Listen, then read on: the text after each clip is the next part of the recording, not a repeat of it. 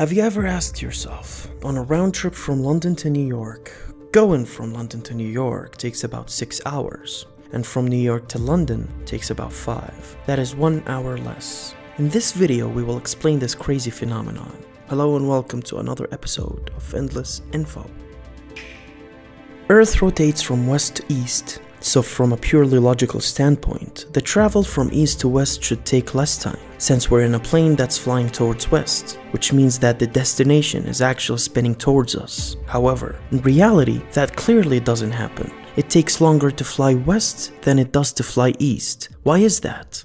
Earth is spherical, mostly. This shape influences a lot of things, including the seasons, weather conditions, GPS, and most importantly, flight times. Due to Earth's spherical shape, different parts of the planet rotate at different speeds. The rotational velocity of Earth decreases as one goes from the equator to the poles. A place on the equator will experience higher rotational velocity due to the fact that it has to cover the longest distance.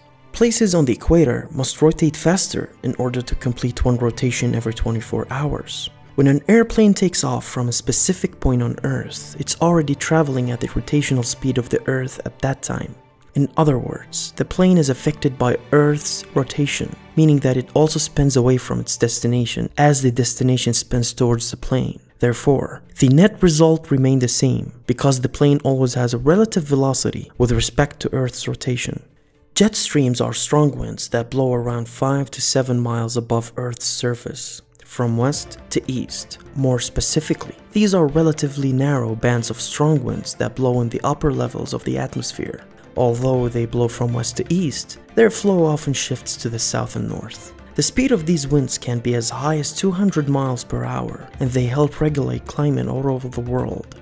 Every moon or planet has global wind whose flow is determined by the way in which the host, which is a planet or moon, moves, and how evenly sunlight falls on it. Earth also has these winds, and because Earth rotates from west to east, jet stream also flow in that direction. Flights with these jet streams on their tails take less time to reach their destination than those facing these winds head on. Airplane pilots navigate into these tunnel-like air patterns which helps the plane take advantage of the fast-blowing winds, saving both time and fuel, and most importantly, money. That's why when airplanes fly from west to east, it takes less time than it does going east to west, of course, because jet streams help push them to their destination, making the flight time shorter. If you like the video, please hit the like and subscribe buttons and don't forget to ring that bell. And thank you for watching another episode of Endless Info.